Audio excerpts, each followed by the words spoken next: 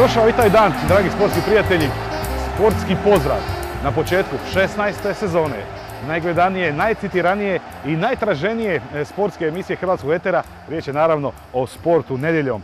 Kao što smo rekli, e, bezbroj emisija, 655. po redu i 16. sezona. Nećemo ovoga puta reći da, oh koliko smo stari. Ne, ne, ne. Nikad mlađi, nikad luđi, kažemo tako, i potentniji za prave sportske priče. I vjerujte, u startu ćemo vam reći, odmah na početku imamo top goste, top teme. O prilozima i reportažama nećemo pretjerati, ima ih puno, a samo ćemo kazati tri najvažnija imena. Nakon reprezentativne priče, e, s nama će u studiju, ovome vanjskom studiju, e, jer prekrasno je vrijeme da još idemo u zatvoreni prostor, bit će legendarni vatar Hajduka, Tonči Gabrić, vratar Hrvatske nekada e, i reprezentacije. A naravno, nakon reprezentativnog ciklusa kojeg je naša reprezentacija pod vodstvom Dalića apsolvirala recimo sa minus pet. A, minus pet, zašto nije svi devet bodova, ali zadovoljni sa sedam. Govorit ćemo o košarci, Pavle Marčinković obilježio hrvatsku košarku i naš aktualni košarkaški reprezentativac.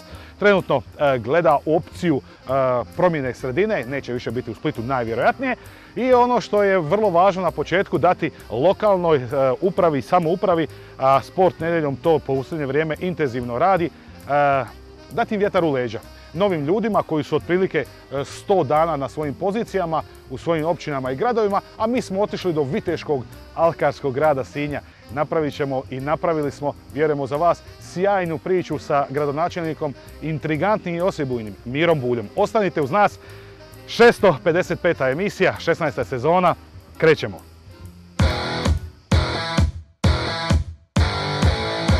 Poštovani gledatelji, još jednom sportski pozdrav na početku nove programske 16. po redu sezone, najgledanije i najdugovječnije sportske emisije Sport nedjeljom. Kako krećemo, i ova sezona bit će prava poslastica. Vrhunske teme i gosti, sve najaktualnije što se događa u Hrvatskoj i svijetu 90 minuta. Nogometna reprezentacija odradila odličan posao u ovom rujnanskom dijelu kvalifikacija za svjetsku smotru. Možemo biti zadovoljni, a o reprezentaciji, novim licima u njoj, izborniku Daliću, HNL-u Hajduku. Sve to proći ćemo sa legendarnim vratarem Splitskog Hajduka, Tončijem Gabrićem.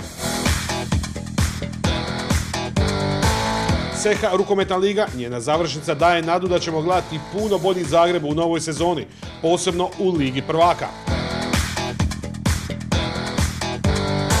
Kako ćemo košarku gledati u ovoj godini? Što mogu Split, Cibona, Zadar, Šibenik? To su teme za košarkaškoj reprezentativca Pavla Marčinkovića. Filip Hrgović odradio i 13. profi meč i ostvario 13. pobjedu. Aktivirao se Željko Mavrović, a naš Petar Milas nažalost izgubio od vrhunskog francuskog buksača Tonija Joke. Posjetili smo viteški alkarski grad Sinj, koji je ovoga ljeta bio u centru pozornosti kako Alke Velike Gospe, tako i po tome što je imao svoj stav, posebno gradonačelnik Bulj, oko mjera stožera civilne zaštite.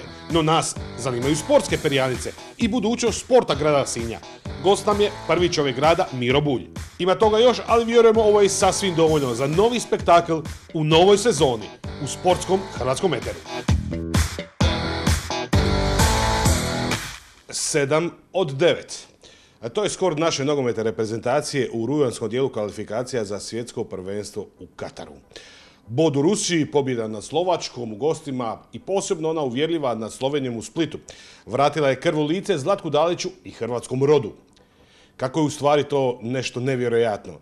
I nakon Rusije i posebno nakon pobjede nad Slovačkom u zadnjim trenucima utakmice kada je Brozović, zadnji vezni, odlučio utakmicu i tada skepsa se nadvila nad hrvatskim sportskim eterom. Pokušale su se naći neke skrivene rupe u kompoziciji Zlatka Dalića i sumnja da li on uopće može to sve izvući do kraja. Pazite, pobjeda i neodlučeno. I tek nakon šamaranja susjeda u Splitu, e, priča se vratila tamo gdje je od početka i bilo mjesto.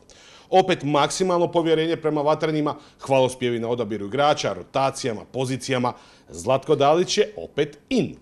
Istina, stvarno smo dobili opet dobru atmosferu u ekipi. Opet je osmijeh trademark reprezentativaca i to sve bez Luke Modrića. Ok, nisu Slovenci Francuska, ali je sjajan pokazatelj kojim putem treba ići. Dobili smo Sosu, Barišić nije zapostavljen, Broz i Kova odlično funkcioniraju, Pašalić i Vlašić dobili su potvrdu da im izbornik vjeruje, Juranović je više puta imao promjenu ritma po boku, napad obrana od Eustahije Brzića. stoperi korektni, posebno Lovren Čaleta Car, napad dobio širinu u Livaji, Krama konačno razigran. Ostvarili sedam vodova i napravili jednu sjajnu situaciju sebe.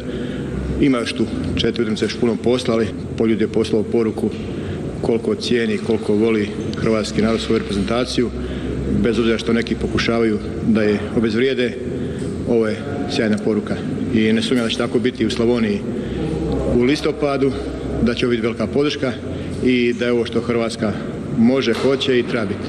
U listopadu nas čekaju dvije utakmice. Cipar u gostima, Slovačka u Osijeku. Za očekivati je i nakon tih utakmica da će ponosno na ljestvici i dalje biti prva Hrvatska.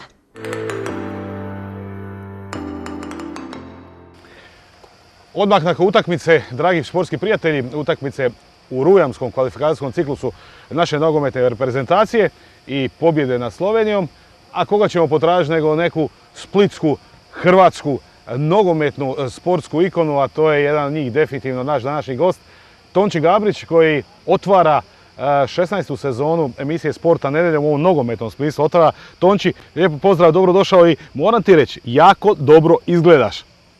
Kuc, kuc, kuc. To ja mislim prvo pozdravljam gledatelje sporta nedjeljom, a ti možda si malo stariji pa slabije vidiš. Ali ne, ne, držiš mi liniju, znaš? Je, je, A? A ne damo, ne damo se. Ne dao se, a? Ne damo se. Pred utakmicu sa Slovenijom dosta te je naših kolega intervjuiralo, pitalo te, jer se naravno prisjećaju utakmice u- na poljudu Slovenija, Hrvatska Slovenija 3-3, um, a tu jedan kupač, neposredno prije ovog razgovora, jedan e, navijač Hajduka u, u hajdučkim hačicama, kupači, kaže, e, nemoj zaboraviti ako Tončija pitaš, njega su jučer tražili kolege tvoje, on je bio na toj utakmici, jer se povrijedio si se tad bio, jel tako? Da. Pa da, to je bila utakmica poslije, kad smo igrali isto na poljudu, tri dana prije protiv Danske, kad je Ladić primio onaj gol uz, uz buru. I normalno, ja sam u to vrijeme ono, bio ljubimac navijača, nešto, nisam kao, kao danas Livaj, ali tu nešto slično. I normalno, kad, kad je izašao sastav da će ja braniti tu utakmicu, to je bila euforija. Čak kad sam izašao na teren, e, nisam bio svjestan e, toga i toliko me publika digla, ja sam mislio da, da ću poletiti. A imao sam 35-36 godina i, i dosta iskusan Iskustva, vratar da, koji sam, e, ima iskustva, ali nemaš, kad sam izašao na poljud, pogotovo smo zagri- zagrijavali gore na, na sjeveru. to je bilo nešto, nešto fantastično. I mi smo poveli 2-0, Slovenci su bili, mi smo puno bolji bili od Slovenaca.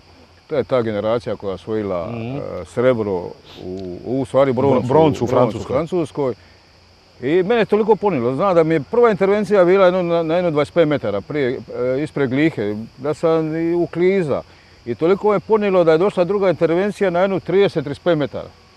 Toliko me nosilo i došla je gliha prije mene, zaobišao me, ja u tome sam se povrijedio, sam se koljeno i oni su, bilo je na poluvrijeme 2-1, ja sam izašao na poluvrijeme i poslije je ušao Mrmić umjesto mene i ostalo je 3-3.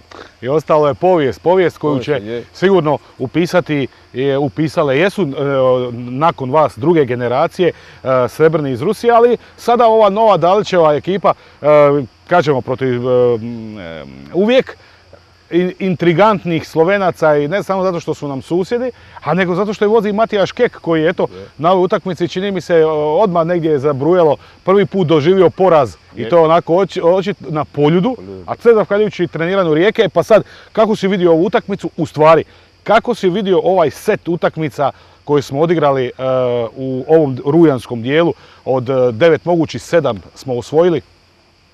Pa da, pa mi smo bili ovaj, mi smo jedno uzlaznom putanji bili. Prvi ta prva utakmica koja je bila u Rusiji, e, mi smo odigrali, po meni možda smo mogli i bolje odigrati utakmicu. Rusi nisu bili ništa posebno.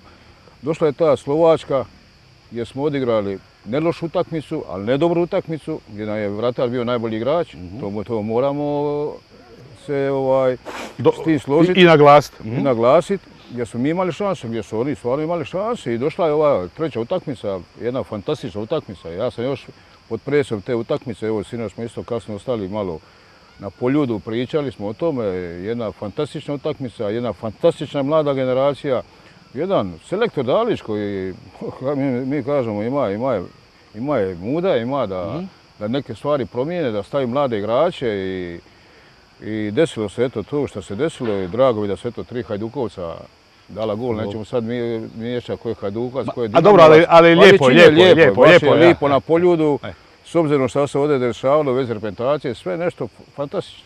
E, e, često sekundu još na Daliću, e, ono, kad krene ciklus, je li mu ovo zadnji ciklus, je li on zasićen, može li, ima li ono što se kaže u Dalmaciji uja u svići, I tu je svaka čast i Daliću svaka čast. Ma normalno je da, da poslije nekog uspjeha kao što je bilo u, u Rusiji, pa mi smo izgubili 6-7 glavnih igrača. da, da, Pa čekaj, pa ima sad, sad ova Italija koja je ovaj, pa nije dobila dvije, dvije utakmice, koja je osvojila prvenstvo Prvenstvo Europe, ja. a ima istu ekipu. Pa nije dobila, nije dobila Bugarsku, nije dobila, i normalno da će da, a znate kako u nas, ako ne dobiješ neku utakmicu i to odmah po, po selektoru, ovo, ono, nemamo Modrića, nemamo ovo, ali po meni Zlatko Dalić e, ima jednu konstantnu, jedan izuzetno pametan momak. Ja sam, ja sam bio kapetan, ja sam ga uvijek zvao- dok je igrao zvao sam ga profesora. stvarno. Dok se igra, ja sam ga uvijek zvao profesora i dan, i dan danas mu rečem, uvijek se rečem profesor, ovo je meni kapetane. I ima odnos sa igračima, to je najvažnije. On ima dobar, dobar odnos sa igračima. Ima u jednom trenutku, neki igrači su možda malo izašli iz toga. On je to presjeka, stavio je nove mlade kojima vjeruje i ne znači da se uvijek neće vratiti ti igrači koje je on otpisao. Ali on je napravio jedan rizičan potez, napravio ga je i stavio iza toga. Normalno da u početku e, dođu ti novi igrači, da nije to baš tako, da nema, Modrića. Prije si dali loptu Modriću. I ostali su mogli relaksirano dalje. I onda Modrić drži I ba- da, balon, pas i e, razigra. drži e. ga 5 minuta E, e. i svi se odmore. A sad, sad, sad imamo nešto drugo, imamo dva fantastična, Brozovića i malo Kovačića, to, to ma- malo ko ima na svijetu. Pa to je, to je divota je gledat. Ja sam jučer divota gledat. plejadu e, vrsnih e, vratara hrvatske reprezentacije Hajduka si stvorio. To ja sam ponosan što sam jedno vrijeme, su sva tri moja vratara bila. Pletikosa, Subašić i Kanilić, sva tri su bila u jednom trenutku u reprezentaciji, poslije Subašić i Kalinić. Mali Grbić je tu dolazio. I sad je došao mali, mali ovaj, Ivušić, svaka mu čast. Onako brani protiv Slovačke, eto ja znam, ja sam iskusan pa, pa braniš, uđeš za reprezentaciju. Razlika je brani za reprezentaciju, Aha. razlika je brani za u Osijeka i Hrvatskoj ligi. Svaka E, čast bravo, bravo, ligi. bravo, Ali bravo, ovo je nešto drugo. bravo, bravo. Ovo je nešto drugo i momak, i gledam ga jučer, on je toliko siguran, on igra nogom fenomenalno. Toliko je siguran, toliko je uvjeren u sebe. I rekao sam, imam tu uh, Livakovića koji je, eto, prvi, dominalno prvi vrata reprezentacije, koji će se uh, vratiti od ozljede, branija za Dinamo fenomenalno. Imamo moga Lovru Kalinića koji će se vratiti sigurno. Imamo malog Ivu Grbića. Ivo Grbić je jedini vratar koji sad će braniti u Ligi Petice, branit će Ligu prvaka. Već sam ga gledao dvije utakmice gdje je dobro branio. Pa nestana je mali Letica koji će, koji će doći na svoje. Pa postoji mali isto Nevistić koji branio u Rijeci. U Rijeci, bravo, njega A mali. Labrović je tu. Bravo, A bravo, bravo. imamo, imamo jednu plejadu, pa iz mlade reprezentacije imamo ti vratara. Tako, Mhm. po meni tu nema problema za vratare. Ma moram te to pitat. Sjaj- lijepo je bilo jučer na polju. Odnosno, e, ambijent je bio dostojan reprezentacije, ali fali su nam navijači na sjeveru. Ne znam, iskreno vam kažem, ja sam jučer isto na face posla moja reprezentacija na mom poljudu. Ja sam branio za prvu utakmicu hrvatske reprezentacije, ja živim u Hrvatskoj, ja sam Hrvat, najponosniji na svijetu. E, ne znam, ja znam kad smo mi bili u Rusiji, kad ja sam bio tu, e, bio sam tamo u polufinalu, finalu, ovdje sam bio do četvrt finale, to je bilo slavlje samo tako u Splitu. Na rivi je bilo sve. A sad sam, ja sam jučer isto očekivao, iskreno vam kažem, ja sam jučer očekivao da će biti navijača amo, to, naših na sjeveru. To je nama igralo 5-6 igrača koji su Hajduka, koji su ponikli u Hajduka. To je mali Livaja koji je ljubi- ljubimac navijača. Pa selektor je Hajdukovac, selektor je igrao Hajduka. To- Ovo podneblje je dalo vrhunske sportaše koji su ponosno branili boje kako Hajduka, tako i reprezentacije. Z- ko- koja je ona to poruka tim mladim igračima, Da. tom Pašaliću na, na poljudu, ono, ko te šljivi? Je. A ne znam, kažem vam, još, još da sam uvježen, mogli su prije govoriti pa, pa je tu su bili nešto protiv Šukera, nešto protiv Mamića. Da, nama da. Sad, nama je sad došao Marijan Kustić, ja ga znam. Čovjeka kojemu sam ja koji put dabijem kartu za Hajduka. Znači on je e, iz Novalje, Hajdukovac je, sad nije važno. Koji voli Hajduka, koji, koji je dao ruku, pružio ruku Hajduku da, da naprave taj, taj most. Šta je, to, šta je to normalno? Razumijete? Ha, ne znam, ne znam šta je tu, U čemu je tu problem? Što ste vi rekli, i vi ponovo igramo protiv Rusije. Tu koja će Tu. možda biti jedna odlučujućih utakmica. Tako je. I ja pozivam ljude, ljude iz Splita, iz Torcide i to, pa ipak je ovo Hrvatska. E, ali uvijek kažemo, e, ne ono što kažeš, ne moramo se slagati s nekim stvarima, e, je li ti se više sviđa ovaj igrač ili onaj, je li prošlost bila turbulentna prema Hajduku i prema igračima iz Hajduka, E, je. Ne treba od toga bježati, ali pa nećemo stalno se Tonči vraćati za 45. i 71. Hrvatsko proljeće i 91. Domovinski rat. Je, pa evo ja znam kad sam branio i kad sam bio trener Hajduka, par prvenstava, ne mogu reći da su nam ukradena bila, gdje smo mi bili bolji od Dinama, a nismo osvojili sad na koji način bilo, da li je bilo neko suđenje, da li je bilo nešto, razumijete? Ali zaboravimo to, to je bilo, prošlo je, dolaze no- nova vremena, dolaze novi ljudi, no- no- nove generacije, novo sve dolazi. Tako da, što ti rekao, to treba zaboraviti. I, i- i još jedan detalj e, po meni. A, e, ni- po meni, ovo je moj stav. Dakle, e, a nije dobra niti, ni- niti poruka, e, niti čelnih ljudi klubova. Ne sad nebitno je li Hajduk. Osijek, Rijeka. Dinamo. E, e, kako ti dođe reprezentacija Osijek, a ja očekujem da meni čelni ljudi Osijeka e, sjede u, u svečanoj loži. Sad namjerno ne govorim o Hajduku, nego o Osijeku, na primjer, o Rijeci, jer mi nekako čini mi se da mali smo, da što se razjedinio i u krajnjoj liniji oni koji nas vode moraju biti primjer, to sam htio reći. Apsolutno si pravo, apsolutno. Pa evo ja znam sad Nogometni savez, ja možda ni ne bi, ne znam, došao bi na utakmicu, ali oni su meni poslali pozivnicu, oni su mene zvali dva, tri puta, oni, oni daju mi neki značaj, daju mi nešto da sam ja nešto napravio za tu, za tu reprezentaciju. E, Zvali su mi mog sina koji igra za reprezentaciju. Znači, daju ti neki značaj, daju nešto, ipak da je to to i još e, reputacija Hrvatske, koja je druga na svijetu. I ja sam ponosan i meni čast, ja ću svaku utakmicu reprezentacije doći, navijati za nju. I to je moj ponos, moja čast i Tako će biti. takav, takav sam i... Takav jesam i takav ću biti. sam i takav ću biti, tako ima mišljenje i svakome ću reći u lice to. Jer neko se e, prihvaća moje mišljenje, prihvaća možda neko ima neka druga mišljenja, ali ja sam prošao sve tako da. I ljubima sam tu, ljubima sam tamo, tako da. Bravo, odlično. Uh, ajmo onda sad na ovaj naš domaći teren.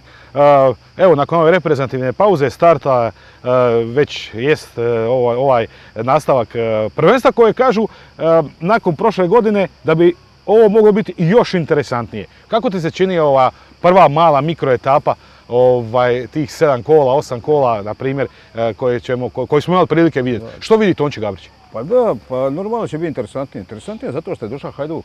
Došao je Hajduk u, u borbu za vrh. Prošle godine su se bili Dinamo i Osijek, tu je uvijek bila Rijeka. Hajduk je tu, nije bio konkurentan. I su ove godine Hajduk napravio ekipu, pogotovo još sada. Doveli su Maloga Katića, koji je stoper, koji je igrao u, u Glasgow Rangersu.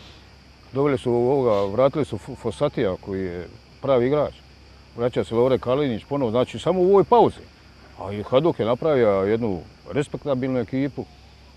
Jel stoji da je ova ekipa u zadnjih, ne znam, 7-8 godina naj, najkonkurentnija? Pa ja mislim da je najkonkurentnija. Iako je po meni bila odlična ekipa kad je bio Burić tu, kad je bija kad je bila dobra ekipa, kad je bio Sušić, kad je bio... A, o, da, da, e, ona- ona ekipa, e, da, da, to da, je da. bila ekipa, samo što se desilo, što su tu ekipu na, na, jesen, na, na zimu rasprodali.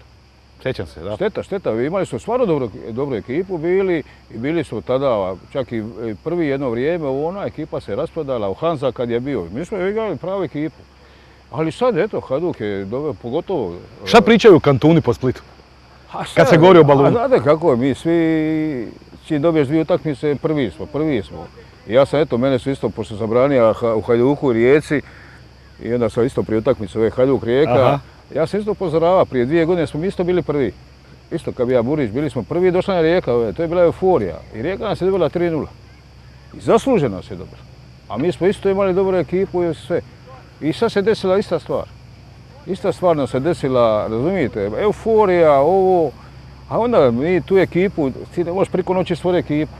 Mi jesmo sad doveli igrače, ali opet moraš godinu dana jedan proces. I istrpiti neke stvari. Kao što je reprezentacija istrpila i Dalića i ovoga i ta Liga nacija, šta se desila. I sad ne mora, ako nismo prvi, a sad da li imamo mi tu financijsku mogućnost zadržati e, e, te igrače. Jer ja mislim ova ekipa, ako ostane još e, za dogodine, još neki igrač da se pojača, Haduk je glavni kandidat. Jer- Haj- ali Hajduk ima dosta skupu ekipu, nije ovo pa, jeftina pa ekipa. zato sam ja rekao. E, pa nije to jeftina ekipa. Nisu oni došli igrati ovdje iz ljubavi, šta, iz ovoga, iz onoga. To je dosta, dosta skupa ekipa. I sad se dešava, mene iznenađuje ta rijeka. Ma taman sam ti to htio reći. To To je je nevjerojatno. To je, to je nevjerojatno. E, Negdje prije par tjedana na, na našem postu Sporta nedjeljom komentirali smo nastupe, e, mislim da je nakon pao kada smo napisali, da, e. pa bez obzira na poraz, ali nekako dojam je kao od, od praktički tamo negdje od prvog sedmoga pa sad do prvog devetoga da je Rijeka igra po možda najljepši nogomet. Je, je. Jel da? A mene su oni oduševili, ja sam evo sinoć isto vidio Mišković, ja sam mu čestitao, ja Mišković, svaka, Miško, svaka čast, svaka mu čast. Ali E, vidiš što znači kontinuitet. Eto, eto. Ali imaju kontinuitet, imaju, imaju, nešto imaju. I što se ono kaže, utakmica više u Europi u zadnje vrijeme. Je, je. I koliko ti to znači u tom I sazrijevanju? I pogode sa trenerom, Tako je. pogode s trenerom. E, kako ti se čini Bjelica? Slušajte, biti drugi, svaka čast, ali biti drugi nije biti prvi. Za, za biti prvi treba biti nešto. Znači Osijek je bio prvi na tablici. Već je drugčije razmišljanje igrača. Već je jedna, jedna hipoteka, već si ti na leđima, već igraš sa, sa, vrićom, sa vrićom, ne cimenta, nego vrićom od 10... Od, od, Armiranog betona. 10 E? razumijete? I to onda su ti noge, onda ovo, onda ono, a na kraju krajeva Bijelica ima jedan specifičan stil. I ja mislim da će on to posložiti, da će oni izaći ovaj, iz te neke, u stvari nisu oni u krizi, nisu imali, po meni eto, oni su trebali proći tu CSKA, po meni su trebali proći. I na kraju krajeva, ja mislim da do godine stiže taj stadion, Da. gdje, gdje, gdje Pampas, su oni, da. e, Pampas, gdje su oni sve uložili to da budu prvi, da... Da, i ono što dobro si rekao, pa, paralelno slažeš ekipu, Je, slažeš i slažeš stadion, da. kamp, te nije lako. Dinamo, A Dinamo, šta, šta ćemo govoriti o Dinamo? Dinamo je ekipa na ovim prostorima, daleko najbolja ekipa s ovih prostora. Rade po meni odlično. Prodaju igrače za 15-20 milijuna. čistačicu za A, dva milijuna. Ma, dobro sam rekao, prodaju čistačicu. Imaju svoj plan, znaju šta treba. Oni će, po meni, žao mi je što eto, što nisu ušli u ligu prvaka zbog njih svega i zbog te neke love, ali po meni bolje je da igraju ovu Evropsku ligu. Da, igrački. Igrački, E, da. jer oni će možda i, i mogu proći dalje u, u, u, na drugi proljeće, u drugi krug. Ko može prvi gricnut Dinama, ozbiljno? Osijek je tu bio blizu prošle godine. E, po meni Hajduk moramo ga vidjeti sada.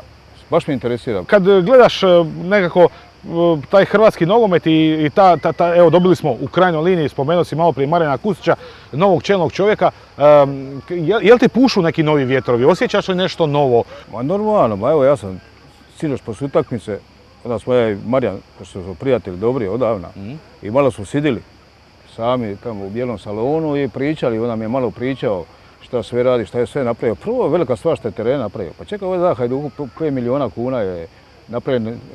I kako pravlja- lijepo stadion, pravlja- igralište. u, Igralište koje je fantazija. Pa ja sam to igrao, pa to je bilo svega. Svega, pa, pa s- teren je bio nikad, nikad, uvijek je bio katastrofa. Uvijek je nešto falo, je, slažem se, slažem se. Ili, ili, ili ga je isušilo, ili ga je bura isušila, ili je blato bilo, ili je ova, ova da ja, ja kažem korona, ova, ova, Korov, korov. ne korona, nego korov, ili onda ovi, kako se zove, ovi, ovi, ova, ova, ovi, ovi, ova muzika šta je, kako se A, ova ultra, ultra, e. Ova, ultra, onda ne možemo, ne možemo trenirati, ne možemo smrditi ono po onome svemu, razumijete? I došao je čovjek i napravio i, i drugim gradovima, razumijete? I to je čovjek koji je, meni se on sviđa. Meni je on drag, meni se on sviđa i malo smo pričali o nekim stvarima.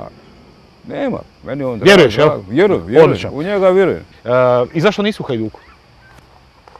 A ne znam, Hajduka sam bio zadnji put sa Burićem i meni je žao, iskreno žao, žao mi je neki vratare, zadnji, u stvari, predzadnji put kad sam bio s Burićem, imali su stvarno jedan dobar plan sa vratarima, bio je Lovre Kalinić, Lovre se već, već smo znali da se prodaje, forsirali smo malo Givu Gr- Grbića, da bude drugi vratar. Tu je, rekli smo malom Stipici, koji je isto fenomenalan vratar, kao bit ćeš tu drugi vratar, ako, ako ti odgovara, ako ne, pustit ćemo te da ideš braniti. I bio je mali Letica kao treći vratar koji je, znači mi smo imali svake dvije, tri godine prodaješ vratara. Da, da. I prodaje za 3, 4, 5 miliona i uvijek će ti vratar biti reprezentativac. Znači to smo imali. U međuvremenu mi smo ovaj, otišli, došli su neki drugi, u međuvremenu sva ta četiri vratara su otišla ča. počeli su dovoljno kupova vratare. Hajduk nikad nije kupovao vratare, nikad, nikad. Razumijete? I ne znam, ne znam, to je stvar ljudi koji vode klub i... A dalo meni se desila jedna, možda mi je na- ja, ima jedna uzrečica moja, ko zna zašto je to dobro. E, iz kojeg razloga? E, i onda meni se desilo, ovaj, desilo mi se da me zvao Slaven Bilić u Saudijskoj Arabiji. I to mi je bilo divot. Evo ovako, sunce, napravim trening jedan, ovdje sam bio u Rudniku. Bravo, Svaki da, dan, da, da. Svaki, što si rekao, svaki dan, pa gdje je mladinska škola, pa svaki dan, pa se bacam, ja se bacam pokazat. Došao sam lipo u Saudijsku Arabiju, pravi klub, kuća s bazenom, Eto ga, da. E, ja radimo sat i po dva dnevno ako radim, ono, lipo. I zaradiš više nego što si cijeli život zaradio. Ova, eto. I, za- I ovim putem zahvaljujem Slavenu što me tu izabra i svaka mu čast. I još jedan put mu se zahvaljujem. O, je li, ako bude neka ponuda negdje, ponovo ti išao bi raditi, išao bi ja. Pa jasno. E, Pa sad- čovjek koji ima e, iskustva, e, znanja, pa e, bože moj dragi. sam sad neke isto ponude, sad neke van kad nije mi nešto to odgovaralo, pa bio ova, covid, pa, pa ovo hoću li, neću li, eto, tako da, ali išao bi normalno, išao van ako bi negdje još mogu raditi.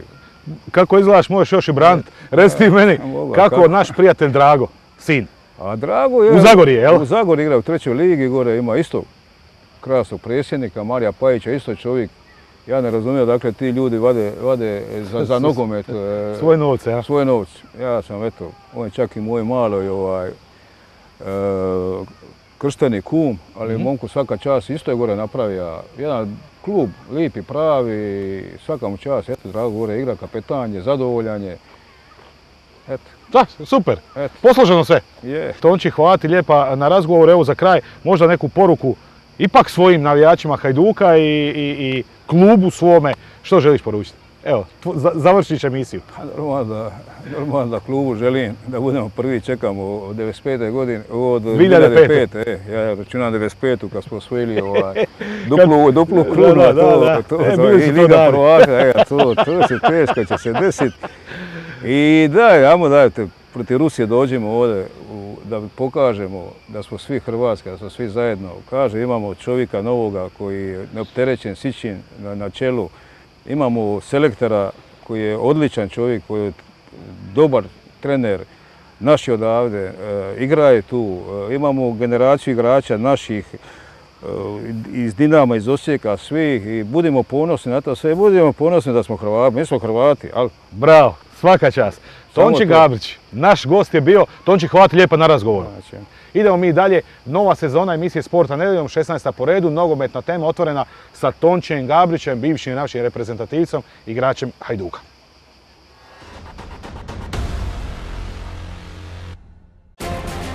Ove jeseni na Maksimir nam stižu West Ham, Rapid Beach i Genk. Osiguraj mjesto na tribini uz paket ulaznica za grupu i budi Dinamov 12. igrač.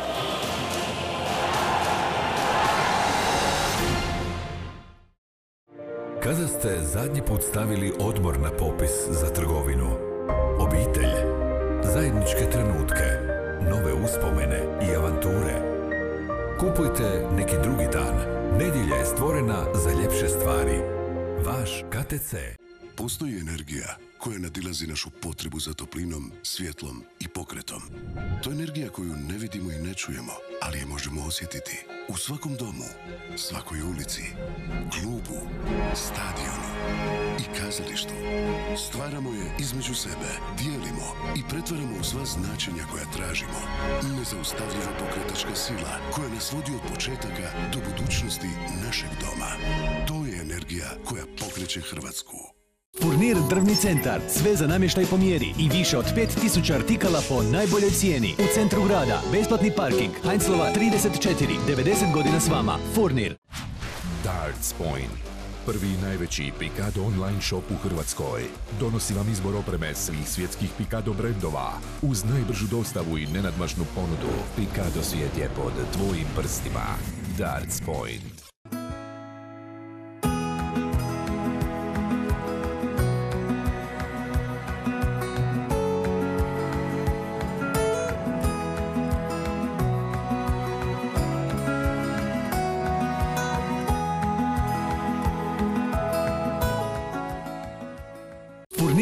Centar, sve za namještaj po mjeri i više od 5000 artikala po najboljoj cijeni. U centru grada, besplatni parking, Heinzlova 34, 90 godina s vama, Furnir. Želiš li studirati na studiju koji je prilagođen tebi? Studiju na kojem je praksa važnija od teorije. Kuhati s najboljim šefovima. Programirati od prvog dana. Onda je Aspira pravi izbor za tebe. Studiraj srcem. Aspira. Sinergija igre, emocije, usluge i dizajna. To su Rebuy Stars Zagreb i Varaždin. Najveći automat klubovi u Hrvatskoj.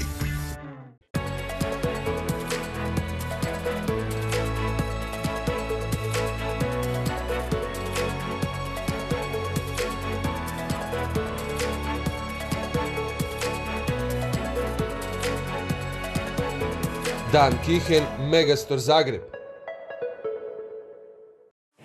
Sve je u igri. Sudjeluj u utrci jer Krobet dijeli do milijun kuna bonusa. Igraj sportsko klađenje u rujnu i osvajaj tjedne bonuse. Više na Lutrija HR. Lutrija, dodir sreće. Ove jeseni na Maksimir nam stižu West Ham, Rapid Beach i Genk. Osiguraj mjesto na tribini uz paket ulaznica za grupu i budi Dinamov 12. igrač.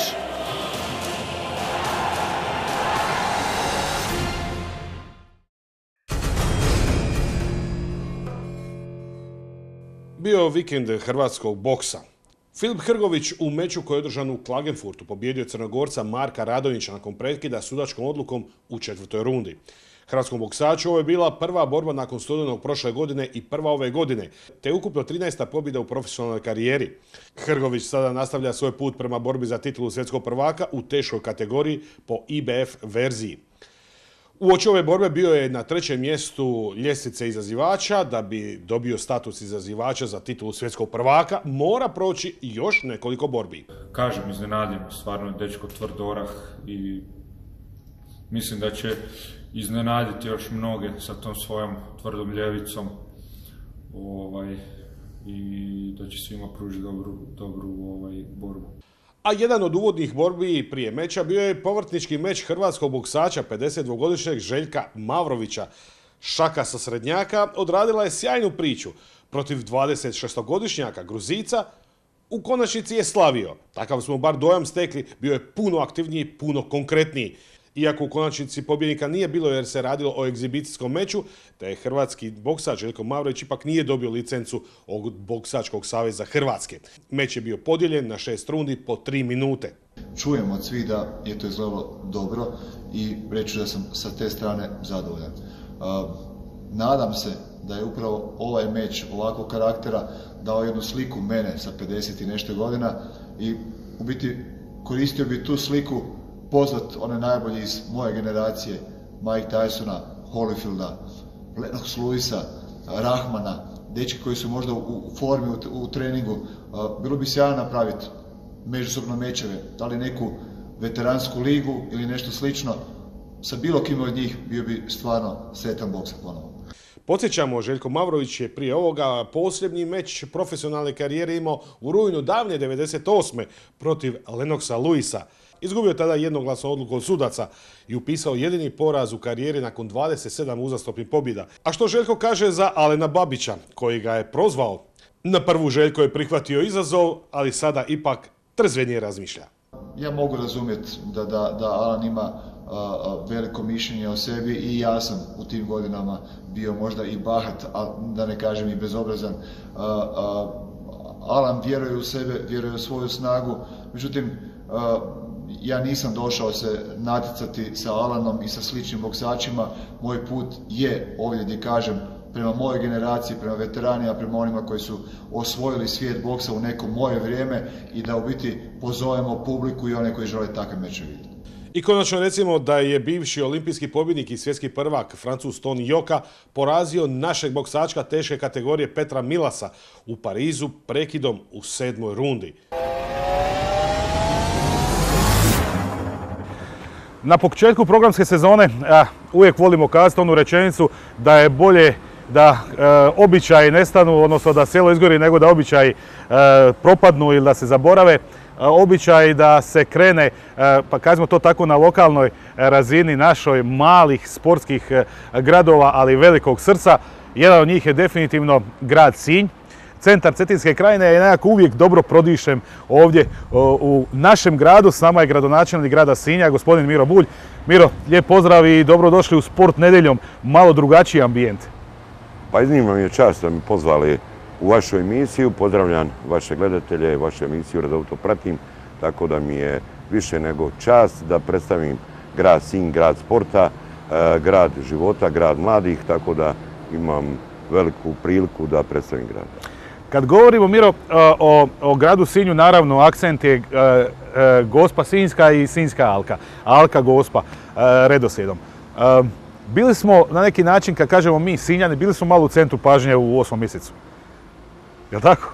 Pa bili smo, manje je i bitna vidljivost. Ja sam i pozivao ljude, sve kad je 13 miliona ljudi bilo turista u Republici Hrvatskoj, interes mi je bio da dođe što veći broj ljudi u grad Sinj i ljudi mi govore koji su ugostitelji, OPG-ovci, koji se bave i koji, e, to je dan Alke Velike Gospe, su im jedini prihodi za othraniti njihove obitelji. Oni su prezadovoljni brojem posjetitelja i ukupnom zaradom koju imaju za svoje obitelji, svoje radnike, tako da ćemo idućih godina, evo sad već za advent spremamo jedinstven program, jedan advent koji će biti prepoznatljiv u cijeloj Hrvatskoj, tako da će grad Sinj biti i ono što je bio za Alku i Veliku Gospu, e, jedan od najposjećenijih sredina u Republici Hrvatskoj, tako će biti uskoro za advent i e, nadam se da će biti iduća e, produžena plan da produžimo turističku sezonu već od petog mjeseca da krenemo sa određenim programima, ne samo za dane Alke Velike Gospe, što je bilo proteklih godina,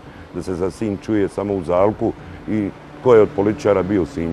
Meni je interes da sve ove ljepote koje ima Sinj, Cetinski kraj, kao najperspektivniji dio Republike Hrvatske za život, poglavito mladih ljudi, da ga prezentiramo našoj javnosti, a turizam je tako vrlo bitan za sve što imamo, uz sportske objekte, uz sportske sadržaje, uz našu rijeku Cetinu, našu Peruću, gdje također, evo, naši olimpijski pobjednici, braća Sinković, Odradili su trenažni proces. Znači imamo nešto što nitko nemamo. Imamo mogućnost za izgradnju mogućih budućih kapaciteta za pripreme naših mhm. sportaša, primjera naša Svilaja, Zelovo na 900 metara, naša Ode Vrdovo. Tako da imamo mi tu potencijal da ne trebaju naši klubovi odlaziti i vrhunski sportaši u druge države da bi se pripremali, nego mogu na području Sinja i Cetinske krajine i na tome ćemo raditi, na brendiranju Sinja, na vidljivosti, jer Sinj moramo znati je prepoznatljiv po Alki, po Velikoj Gospi. Međutim, imamo mi tu i Gaj Liberi da je igran prvi nogomet od FIFA 69. Mhm. godine, da je prvi nogomet igran na području Cetinske krajine, točnije na Gardunu, a u Vrličkoj ulici u središtu grada Sinja imamo i taj kip gdje dječak drži loptu u, ruci, znači mi smo i kolijevka nogometa svjetskoga. Koji su to naglasci, Miro, na kojima ćete e, tražiti revitalizaciju ove pozicije? E, ta cesta, da li je to u stvari jedan od ključeva e, vraćanja života u Sinju? Apsolutno. Tom cestom, brzom cestom za obilaznicom Disma ili Kukuzovac Križice, Sinj postaje predgrađe Splita ili obrnuto, možemo sad razgovarati. E, Split je postao prenapučeno područje, splitski cijelo područje od Trogira do Miša, ljudi više nemaju stambenih prostora i doli je najskuplje metar, metar kvadratnih stana, minimalno 3000 eura. Ovdje je puno jeftinije područje Radošića, pa idemo prema Suvaču, Karakasci, sve do Jasenska, Čitluka, pa i ova udaljenija mjesta, e, Glavice e, i Brnaze, i ova udaljenja koja je već prenapučena, e, grad Sinj je središte Cetinske krajine, samim tim bi bilo puno lakše tom cestom života, brzom cestom doći od Sinja do Splita, nego recimo iz jednog kraja, na primjer od Firula do Meja. I ja očekujem da će ne očekujem, jednostavno znam da će se povećati broj stanovnika idućem periodu u gradu Sinju. Zbog toga pozivam mlade, dođite u Sinj, na nama je da u prostoru nađemo e, mogućnost da dođe do e, proširenja tih stambenih zona da naši mladi mogu doći, ali u Sinju teško se više pronaći stan za kupiti, a kamoli za iznajmiti. A e, kad bi se krenulo, postoji li već to rješenje? Pa ne, naravno da postoji rješenja, imamo, imamo prostorni plan, mi smo bili Sinj na repu, ne samo Hrvatske, nego na repu Cetinske krajine, zbog neodlučenog vođenja grada Sinja. E, naravno, osim te ceste koja je stvarno e, žila kucavica za ovaj kraj, sad je jako blizu Splita, a ovo bi bilo zaista, samo ne, ne ugriješ sjedalo vozačko e, do Splita si, prekrasna polja neiskorištena koja bi trebala.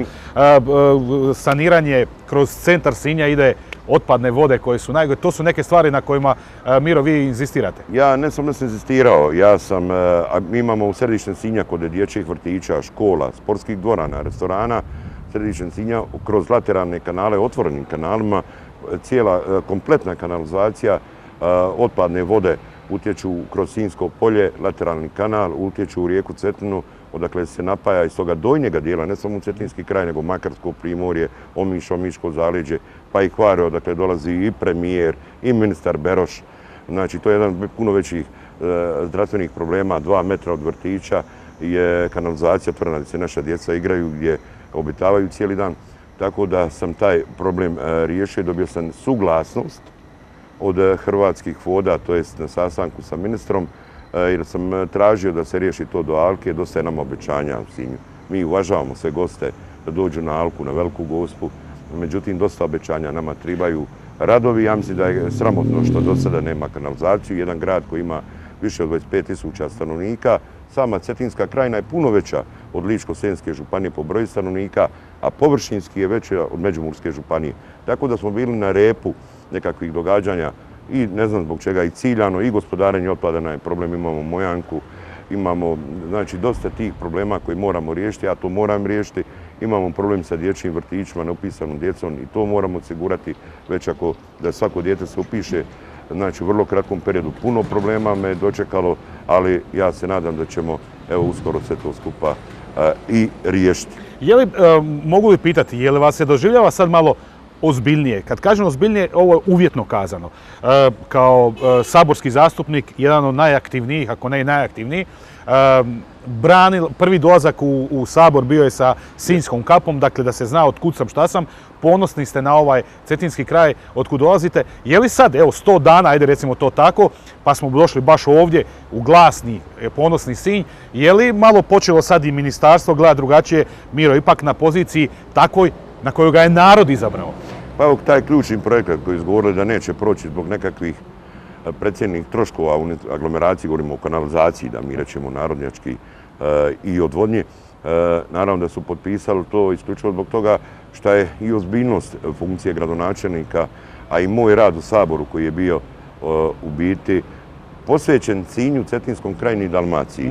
Naravno i drugim krajima. I drugim krajima, da, naravno, poljoprivredniku, jer je nevjerojatno da mi danas nemamo dovoljno hrane, a da Sinjsko polje gdje potiče Cetina, 6000 hektara, protiče rijeka Cetina, nemamo navodnjavanje, da imamo sušu, da imamo problema svako ljeto. Znači, mi moramo raditi na tim projektima, imamo evropska sredstva, imamo Hrvatske vode i Županiju koja apsolutno ne vodi brigu o Dalmatinskoj Zagori i mislim da je mojim dolaskom u biti ljudi se glasali za promjene. Mi imamo znači, oko 50.000 stanovnika Cetinska krajina.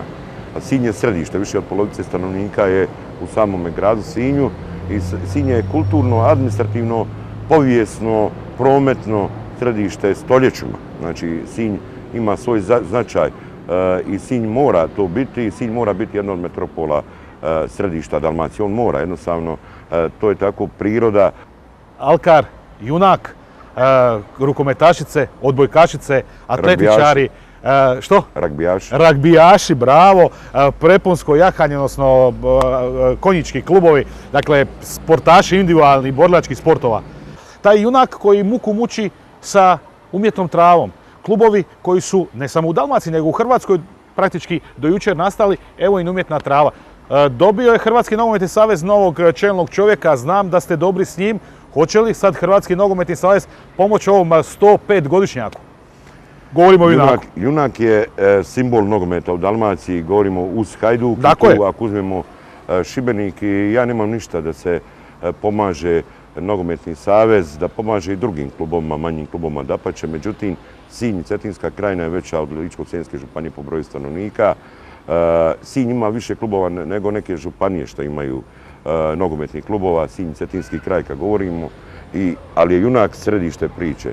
Tako da klubovima koji e, se pomoćna igrališta, to je travnata igrališta, umjetna trava se pomaže, a junaku se to nije napravilo. Ja sam odmah poslao dopis novo izbranom predsjedniku Kuću, nisam dobio odgovor, nadam se da će dobiti, ne dobiti.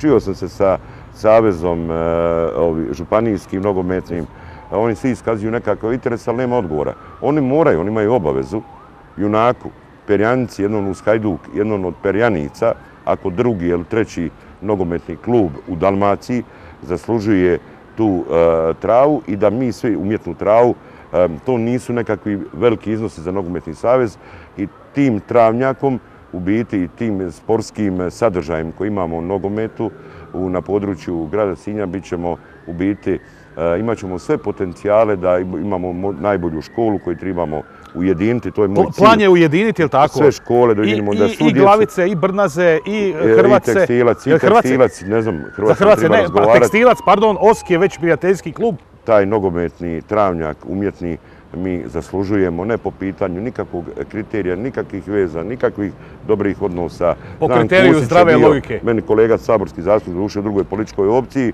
ali on mora znati da on to mora napraviti i da više neće biti također nogometni klub Junak na repu.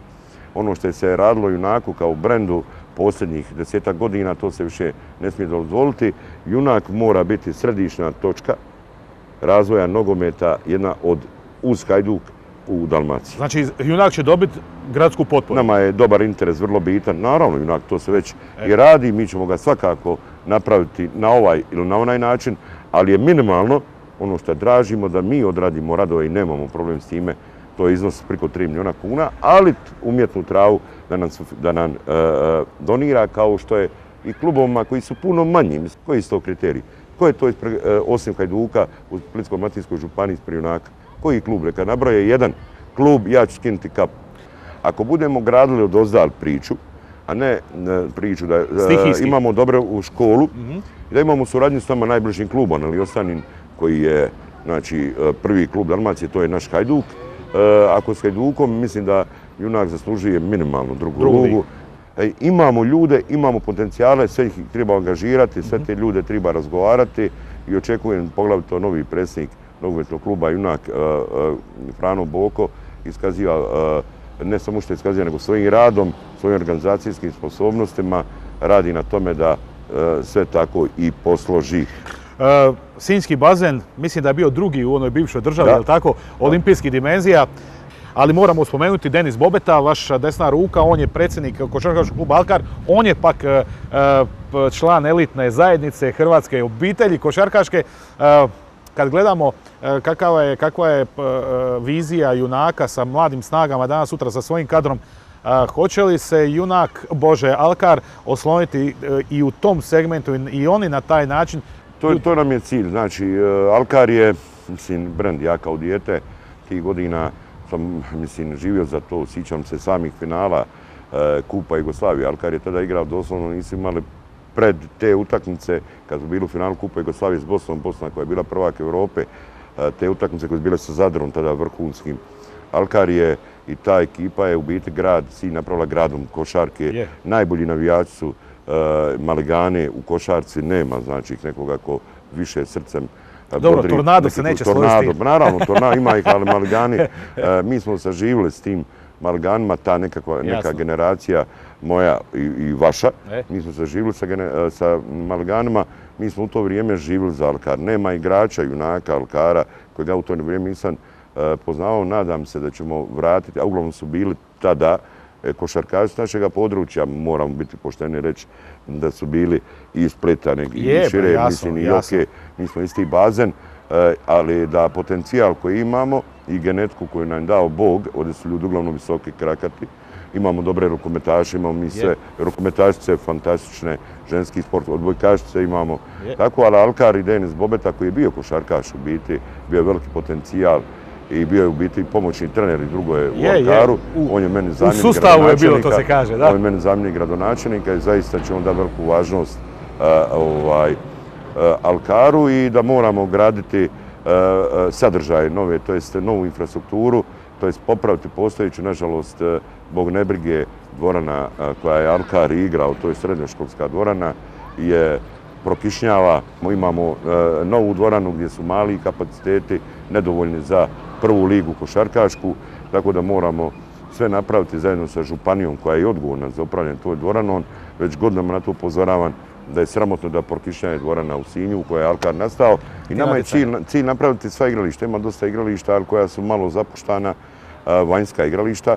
Evo sad kod osnovne škole Marko Marulić ćemo uložiti da se gumira i košarkaško, nogometno je prošle godine gumirano, brojna djeca se tu i bazen, taj kompleks bazena kojega ćemo sve napraviti da ga otkupimo, ono je u stečaju. Jel bi se radio taj nekakav oblik zimskog dijela? Da na taj način napravimo projekat koji bi zadovoljio zajedno sa, i sa Vatropolo savezom i sa Plivačkim savezom, da zadovoljimo uvjete iz zimskog korištenja tog objekta koji je simbol koji nekada kada brojni veći puno gradovi nisu imali bazen, grad Sinj je tada u to vrijeme, poslije drugog svjetskog rata, doslovno ručno su ljudi bili motivirani, iskopali su bazen sa karivolama, motkama i mašlinima, tako da na nama je, na našoj generacije, da stvorimo uvjete da cijelu godinu bude taj bazen korišten i vjerujte mi da će biti puno uspješnih plivača, vatropolista i svih onih koji se bave vodenim sportovima. Miro, ratnik, čovjek iz naroda, čovjeka kojeg su pokušali osporiti, ali nikada nisu zaustavili u namjeri.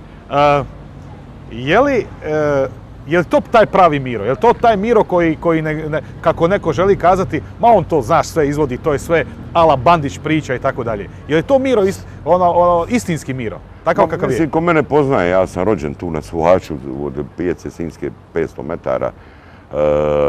cijeli svoj život sam bio, mislim, običan čovjek, evo, pošto vi Sinja i vama sam nosao kao poštar mliko, tako da se sjeći toga. Ja sam jedan obični čovjek koji se odgojio u gradu Sinju, dite Sinja, dite moga mista Suvača, dite svih sela, tako da osjećam ovaj grad i svakog čovjeka i daću maksimum, ja sad evo kao gradonačelnik, a i saborski zastupnik, sad kad su ostali saborski zastupnik većinom na godišnjim odborima, ja sam ujutro na poslao 7 do uveće do 10 minimalno, bez prekida, rješavajući sve nagomenalne probleme sa svojim suradnicima koji su također pod presingom koje ja namećem također digot izgube snagu i energiju, ja ću sve dati. Jer grad Sinj je moja obitelj. Cetinski kraj je moja obitelj. Ja gledam prema svome gradu, svakom čovjeku ovdje kao na svoju obitelj, kao na svoje dijete. Prema tome učinit ću sve da napravim da ovaj grad bude tamo gdje je mjesto, a to je da bude jedan od metropola Dalmacije, to je središta Dalmacije, što mu i pripada. Ne volim o sebi pričati, ali reći obični čovjek iz naroda, ću sve dati sa svojim suradnicima da napravimo što bolje i prigodu mladim ljudima, sad kad je preustroje nova sistematizacija, da svi imaju mogućnost kandidirati se, moramo svježu krvu gradsku upravu dovesti novu, da jednostavno više ne bude nekakve stranačke čelije gradska uprava, nego da budemo gradska uprava koja će raditi u interesu transparentno, učinkovito, otvoreno u interesu naših građana grada Sinja i svih 14 mjesnih odbora.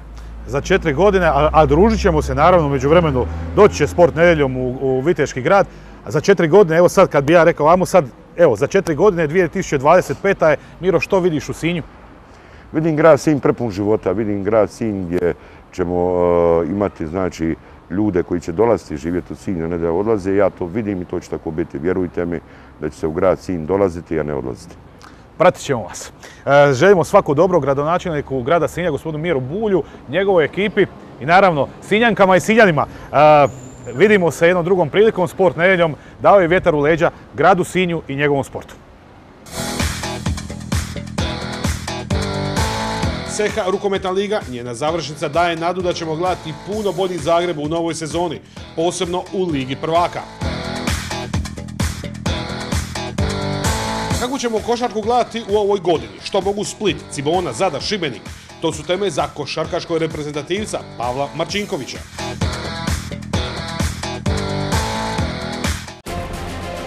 Ove jeseni na Maksimir nam stižu West Ham, Rapid Beach i Genk.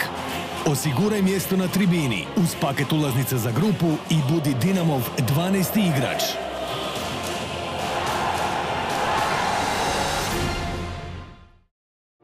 Kada ste zadnji put stavili odmor na popis za trgovinu? Obitelj, zajedničke trenutke, nove uspomene i avanture. Kupujte neki drugi dan. Nedjelja je stvorena za ljepše stvari. Vaš KTC. Postoji energija koja nadilazi našu potrebu za toplinom, svjetlom i pokretom. To je energija koju ne vidimo i ne čujemo, ali je možemo osjetiti. U svakom domu, svakoj ulici, klubu, stadionu i kazalištu. Stvaramo je između sebe, dijelimo i pretvaramo u sva značenja koja tražimo. Nezaustavljiva pokretačka sila koja nas vodi od početaka do budućnosti našeg doma. To je energija koja pokreće Hrvatsku. Furnir Drvni centar, sve za namještaj po mjeri i više od 5000 artikala po najboljoj cijeni. U centru grada, besplatni parking, Heinzlova 34, 90 godina s vama. Furnir. Darts Point. Prvi i najveći Picado online shop u Hrvatskoj. Donosi vam izbor opreme svih svjetskih Picado brendova. Uz najbržu dostavu i nenadmašnu ponudu. Picado svijet je pod tvojim prstima. Darts Point.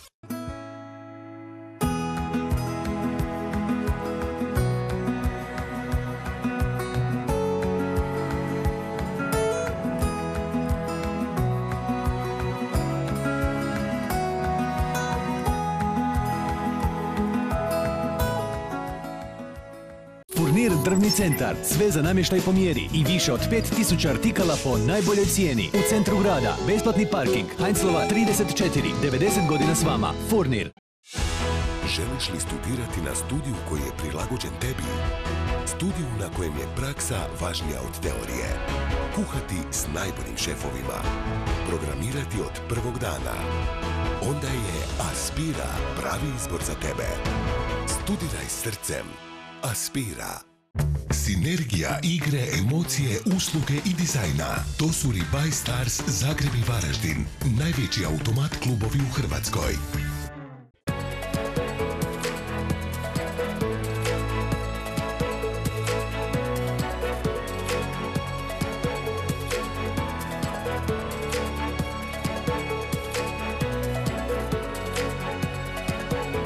Dan Kihen, Megastor Zagreb. Sve je u igri. Sudjeluj u utrci jer Krobet dijeli do milijun kuna bonusa. Igraj sportsko klađenje u rujnu i osvajaj tjedne bonuse. Više na Lutrija HR. Lutrija, dodir sreće. Ove jeseni na Maksimir nam stižu West Ham, Rapid Beach i Genk. Osiguraj mjesto na tribini uz paket ulaznica za grupu i budi Dinamov 12. igrač.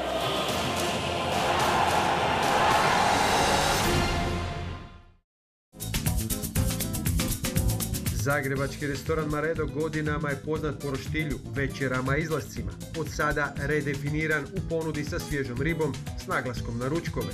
Šef Mario Mihelj podigao je razinu jela s roštilja, dodao divlju ribu, rižota, salate, gregade i fritomisli. Maredo, ručak za bolji dan. Postoji energija koja nadilazi našu potrebu za toplinom, svjetlom i pokretom. To je energija koju ne vidimo i ne čujemo, ali je možemo osjetiti. U svakom domu, svakoj ulici, klubu, stadionu i kazalištu. Stvaramo je između sebe, dijelimo i pretvaramo u sva značenja koja tražimo. Nezaustavljiva pokretačka sila koja nas vodi od početaka do budućnosti našeg doma. To je energija koja pokreće Hrvatsku. Vidim bolje. Radim bolje. Vidim bolje. Učim bolje. Vidim bolje. Igram bolje. Optika Kraljević. Živi bolje. Kada ste zadnji put stavili odmor na popis za trgovinu? Obitelj, zajedničke trenutke, nove uspomene avanture. Kupujte neki drugi dan. Nedjelja je stvorena za ljepše stvari. Vaš KTC. Ove jeseni na Maksimir nam stižu West Ham, Rapid Beach i Genk. Osiguraj mjesto na tribini uz paket ulaznica za grupu i budi Dinamov 12. igrač.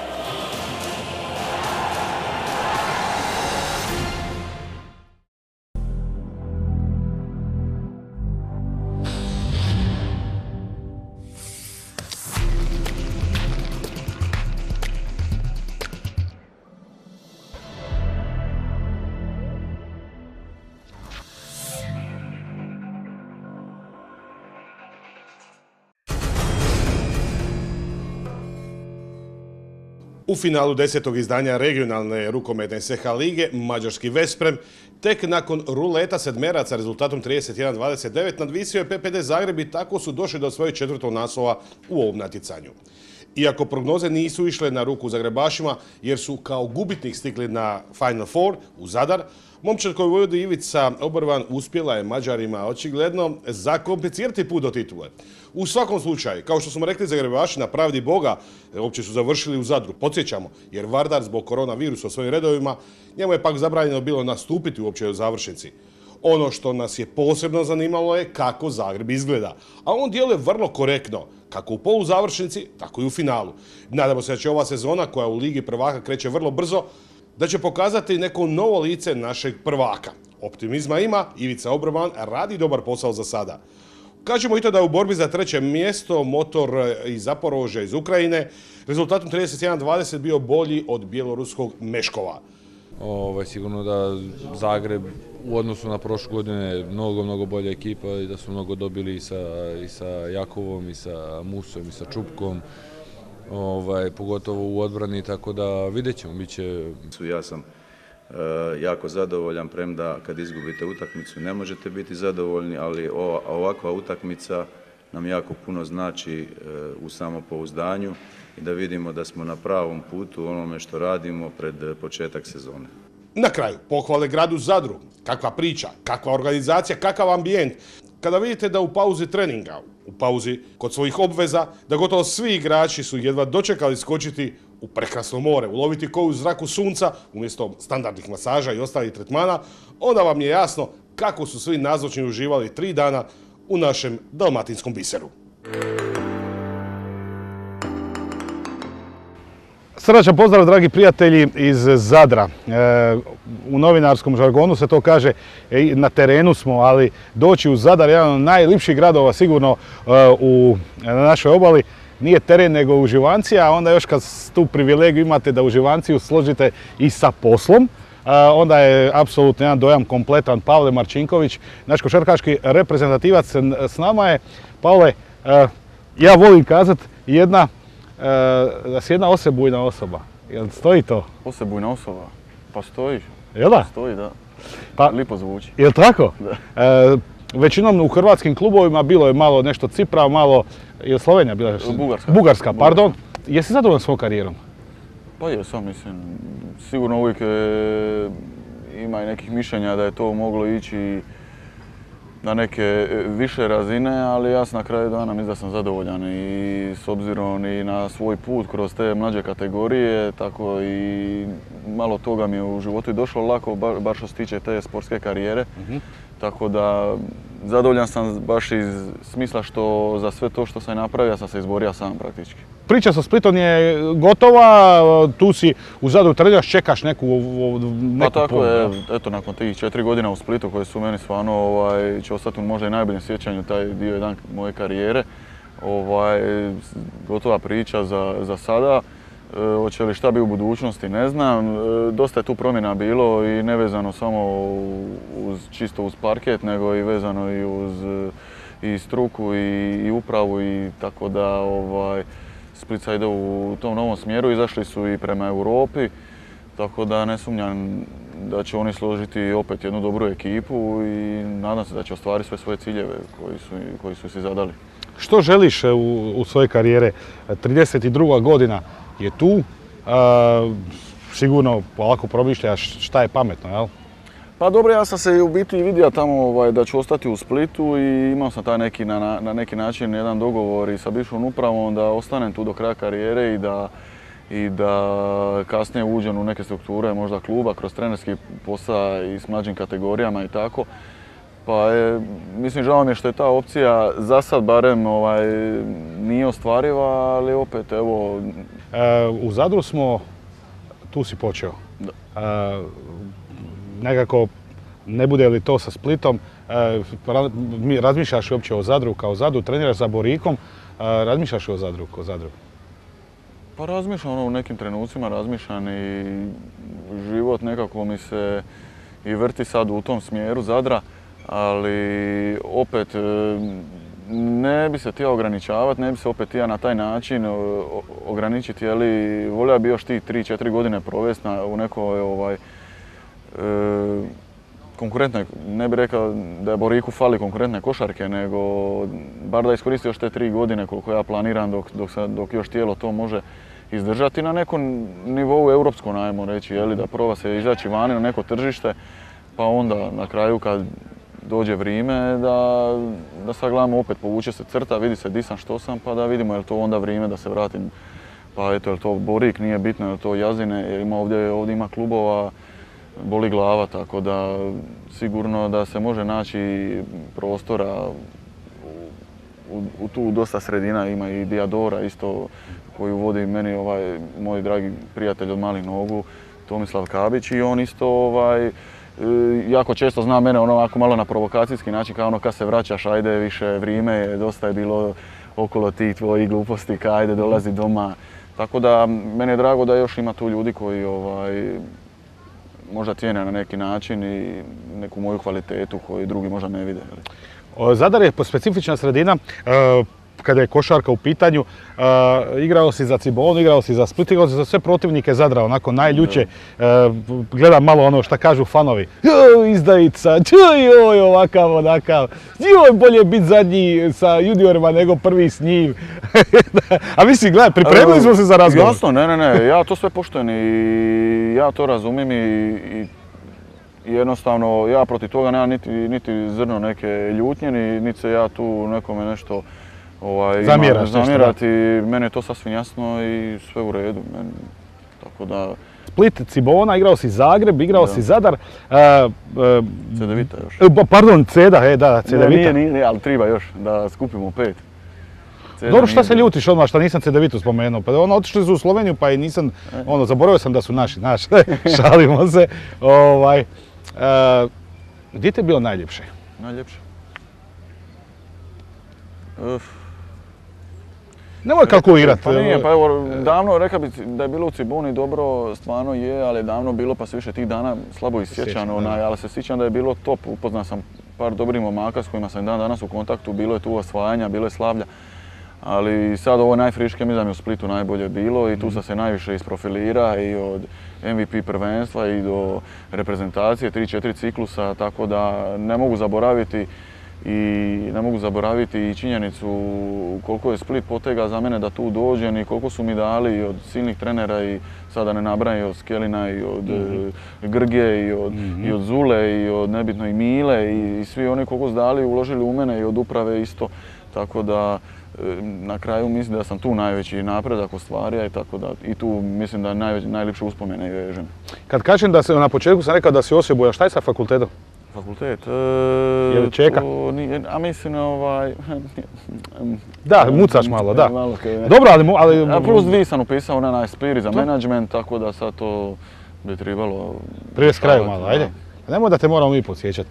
E, a druga stvar zbog čega si Osijebuja, pa da, ma koja je ovo priča sa Chelsea? Šta ti si tu? Chelsea, Ti si Chelsea spominju, ja na kraju će me poslati, više će me ljudi pitati za Chelsea. Pa ne, ali on je inače, ako ne znate, ljudi u klubu navijača Chelsea za Da, da.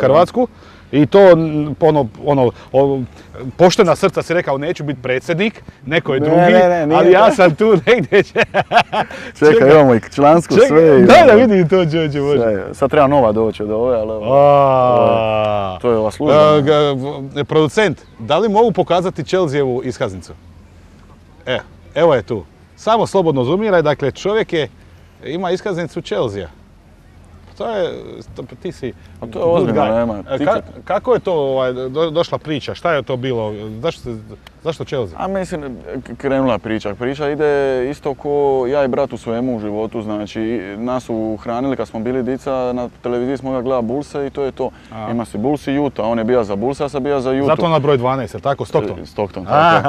Ja sam bio za. Jutu, oni su plavi, Zadar je plavo, bili, to je to, razumiješ, ja sam Juta, on je iz Chicago i gotovo. I onda je krenija nogomet, filanje Šuker Jarni, normalno samo se Real gleda, ja gledam Real, svi navijamo za Real, dica smo, ne kužimo ništa i dođe jedna utakmica, Chelsea dobije Reala, ja vidim plave dresove, ja navijam za Zolu, gotovo je sad.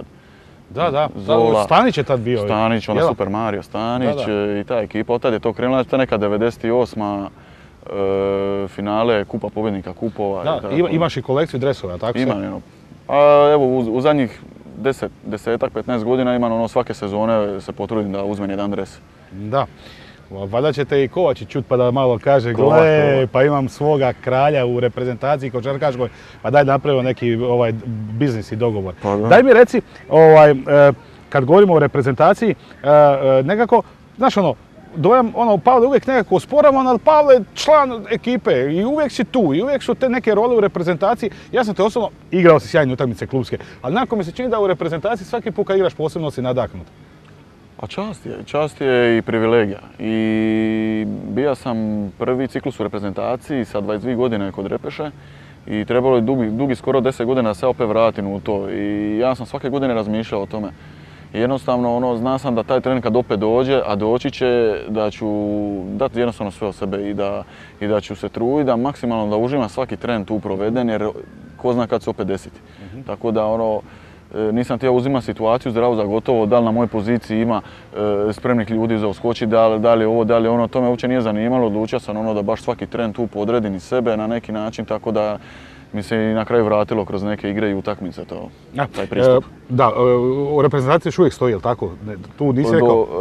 e, ja ne, ja ne, Jedino nisam, ako ne. te iznesu. E pa to je. Dobre, ali neće, iznićete sa 85 godina do Ne dam se, 88. pogledaj, ne daju mi ljudi 32, ne daju mi. E, ovo sam životno mislio, znaš, E, 80, a, e, ali e, F- Švedska, Finska e, i Slo. kvalifikacije Slovenija, čovječe Boži, moj bio išta stari, hvala ti na asistenciji. Kvalifikacijska grupa za svjetsko prvenstvo koje će se igrati tamo na, na Indonezija, dis, dis, sad što negdje, Filipini, o pa, Filipini, e, Okinawa, na- Nagasaki, šalim se. Uglavnom, e, kvalifikacijska grupa Slovenija, Finska, Švedska, prva tri i Hrvatska, prva tri idu u drugi krug, formiraju skupine, bla, bla, bla. E, kako se to čini? Osje- mislim da je osjetio si Švedsku, jel tako? Švedsku da. Finsku E, ne. Finsku ne. Sloveniju da. Sloveniju da, e.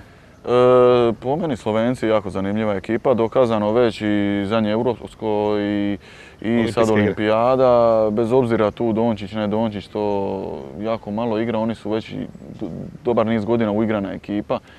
I rado, vidim da rado se odazivaju, dobra su klapa, stvarno su odlični i dosta toga onda prenesu i na teren i jako su neugodni. Igrali smo dvije prijateljske s njima. E, mislim da se možemo mi nositi i mislim da u, biti uopće tu ne bi niti njima dao neku ulogu favorita.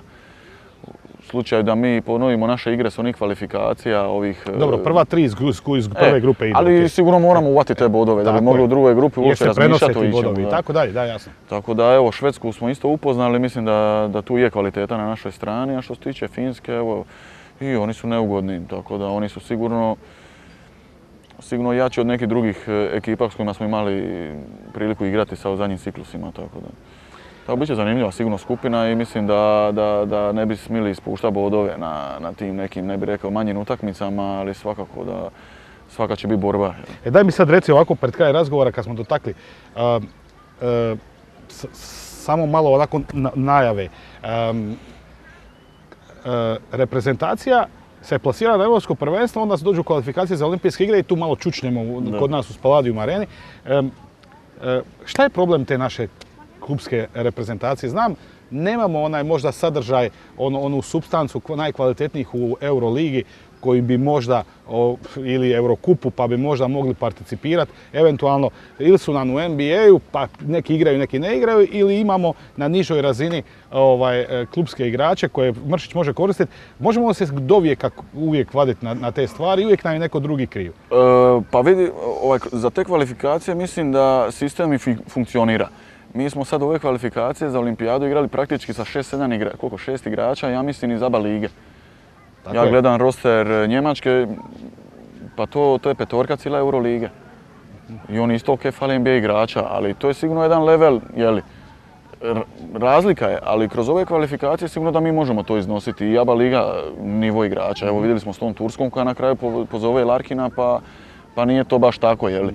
Ali mislim da funkcionira na ovaj način kroz kvalifikacije, ali sigurno za velika natjecanja da će trebati pomoć i euroligaških igrača NBA igrača. I to što se tiče ovog lita, e, priča je odlično krenula u tom smjeru da se ovo lito kapitalizira na način da se ode na olimpijske. Ali bilo je i tu ozljeda, znači nema Simona, nema Šarića, nema, to su naši nosioci koji već godinama nose reprezentaciju na velikim natjecanjima, teško je onda to e, Znam, ali teško je nam je gledat, naši Slovenci otišli Srbi. A mi ti, ti, ti, ti, ti, negdje smo tu stalno, negdje bi mi, joj, na Europskom smo prvenstvu super, ono, jedan od pet. Ono, znaš što mislim kažem. Razumijem, razumijem, razumijem. Da, e, klubski. e, rep- e, e, Savez je rekao, ajde igrajte europsko natjecanje Fibino, mi ćemo vam platiti, nemojte mo- igrati ABA ligu ili ne znam što. K- kako doći do toga da naši klubovi Čovječe, igramo u Europu, jel može negdje u Zadru na Višnjiku doći neko iz Europe, a da nije iz ovog bližeg susjedstva, u Podtoranj ili, ili, ili u, na Gripe? Pa može, sigurno da mogu. Ovaj, Jel, kužiš, se- dakle, šta- koje je rješenje klubsko da mi kažemo igramo u državno prvenstvo, igramo oba ligu, ali Europa ona ispada, nešto mora ispasti. Ja mislim da i za igrače trenutno da bi bilo bolje da izađemo na tu europsku scenu. Jer sigurno kad odigraš odličnu utakmicu protiv nebitno sad to evo ja bubam Groningena, pa E. ćete vidjeti 3-4 kluba iz Nizozemske, pa mi slabo izlazimo na tržište, mi jako, ja govorim iz perspektive Čini se igrača. da smo se, da smo se zatvorili na ovaj Ne, mi nemamo tako, tako dobar izlaz. Ja, evo, zamisli da si sad direktor Bro, Broze Basket Bamberga, ili nebitno koga, ne znam. I sad ti gledaš ABA ligu. Nama je, naša tri kluba su pri dnu. I sad ti tražiš igrača. Kojeg, Mislim- mo- kojeg možda čak i imaš, ali ne može doći do izražaja. Ti tražiš igrača, no možeš pogledati igrače prvih osam klubova, devet maks i tu ćeš tražiti, to su većinom Srbi Crnogorci i ova liga je jednostavno njima dosta više daje nego nama u ovom trenutku. Ja bre, baš što se tiče igrača. Što se tiče klubova, s klubske strane shvaćam logiku da se igra ABA liga koja je, kako ja imam informacije, isplativija par puta nego izlazak u Europu. Tako da u ovim situacijama korone i ovo kad ne znaš šta ćeš, di ćeš, kako će biti, sigurno da se svi vate za te neke sigurnije opcije. Sad, jednostavno, mislim da treba krenuti od, ti- od klubova, ta inicijativa prema Europi, pa mislim, što se tiče igrača, sigurno da niko nema protiv da rađe da igra e, po Europi, da, da igra takve ozbiljne utakmice po Francuskoj, ne znam ni šta. Da, vjerojatno će se još jako, jako dugo uh, raspravljati što je bolje. Uh, evo, Cibona lijepu sliku ostavila uh, u- na po tom pripremnom turniru. Vidjet ćemo kako će izgledati Split, kako će izgledati Zadar, kako će izgledati uh, klub u kojem će igrati Pavle Marčinković. Pratit ćemo svakako. Uh, Pavle, puno sreće. Hvala puno. Zagreb Sinja, vlakom preko Brinja. Ne možeš ga slomit, jak je kao spina. Oko vrata Lančić, a na njemu Alka. Lako ti je poznat sinjskoga junaka. Asistent Vlado, što ga zovu Ture? Sportaš je ekipa, boga mi i cure. Uvijek je pri ruci, ponekad na muci. Kad ga Ante stisne kao da su vuci. Stvorili su zajedno emisiju snova Jer nema emisije kao što je ova. Savršeni gosti preljepe hostese. Sport nedeljom stiže na svjetske adrese. Luka i Lovren, i Janica i Toni I veliki mali, pravi šampioni Svi su oni anti, dragi gosti bili Najbolji sportaši, svima nama mili. A nešto važno, rado bi vam rekao Sport nedeljom je stvorio Ante Breko Zagrebački restoran Maredo godinama je poznat po roštilju, večerama i izlascima. Od sada redefiniran u ponudi sa svježom ribom s naglaskom na ručkove. Šef Mario Mihelj podigao je razinu jela s roštilja, dodao divlju ribu, rižota, salate, gregade i frito misli. Maredo, ručak za bolji dan. Postoji energija koja nadilazi našu potrebu za toplinom, svjetlom i pokretom. To je energija koju ne vidimo i ne čujemo, ali je možemo osjetiti. U svakom domu, svakoj ulici, klubu, stadionu i kazalištu. Stvaramo je između sebe, dijelimo i pretvaramo u sva značenja koja tražimo. Nezaustavljiva pokretačka sila koja nas vodi od početaka do budućnosti našeg doma. To je energija koja pokreće Hrvatsku. Vidim bolje. Radim bolje. Vidim bolje. Učim bolje. Vidim bolje. Igram bolje. Optika Kraljević. Živi bolje. Kada ste zadnji put stavili odmor na popis za trgovinu? Obitelj, zajedničke trenutke, uspomene i avanture. Kupujte neki drugi dan, Nedjelja je stvorena za ljepše stvari. Vaš KTC. Ove jeseni na Maksimir nam stižu West Ham, Rapid Beach i Genk. Osiguraj mjesto na tribini uz paket ulaznica za grupu i budi Dinamov 12. igrač.